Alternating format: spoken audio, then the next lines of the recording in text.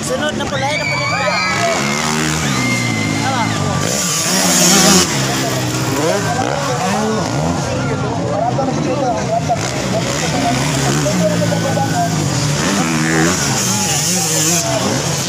Thank you.